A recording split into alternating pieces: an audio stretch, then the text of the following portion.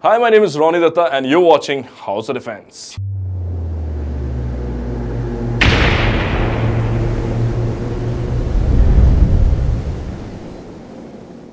Yesterday, India successfully test-fired the land attack version of BrahMos supersonic cruise missile, featuring indigenous components such as propulsion system and airframe from a base at Chandipur in Odisha's Balasore district. So what is the BrahMos?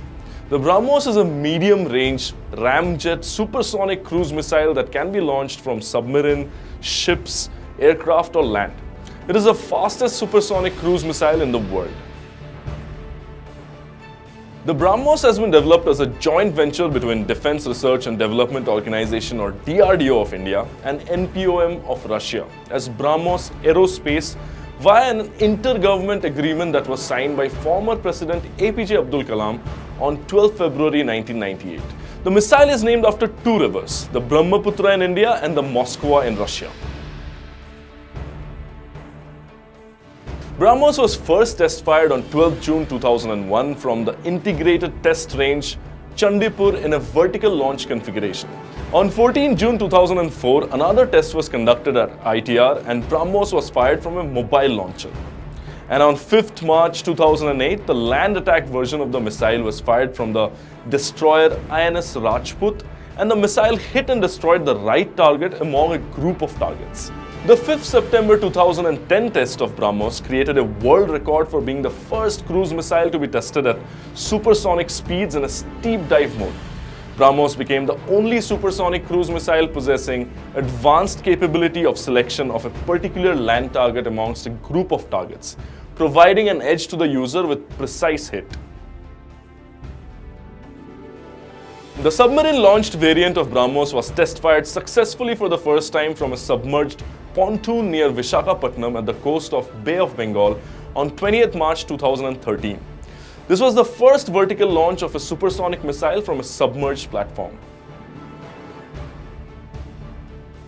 The BrahMos A is a modified air-launched variant of the missile with a range of 400 kilometers which can be launched from a Sukhoi Su-30 MKI as a standoff weapon. And finally on 22nd November 2017, the missile was successfully test-fired for the first time from a 30 MKI against a sea-based target in the Bay of Bengal. BrahMos has the capability of attacking surface targets by flying as low as 5 meters in altitude and the maximum altitude it can fly is 14,000 meters.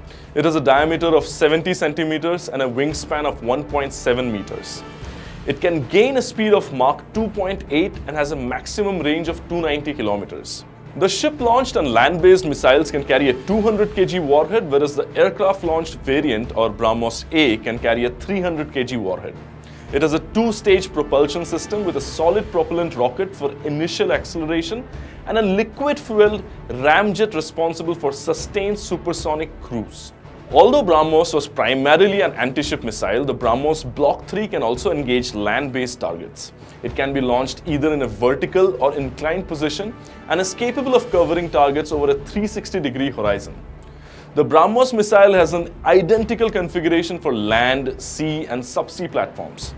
The air-launched version has a smaller booster and additional tail fins for added stability during launch. So what's next for the BrahMos? India and Russia intend to make 2,000 BrahMos supersonic cruise missiles over the next 10 years through their joint venture company. And nearly 50% of them are expected to be exported to friendly countries. I hope you like this video about the BrahMos supersonic cruise missile and if you did, please share it with your friends and family, subscribe to My Nation and How's The Defence.